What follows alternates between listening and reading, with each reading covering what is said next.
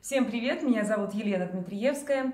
14 мая в Сосновом Бару пройдет уникальное мероприятие «Марафон. Бегущая невеста». Я бегу.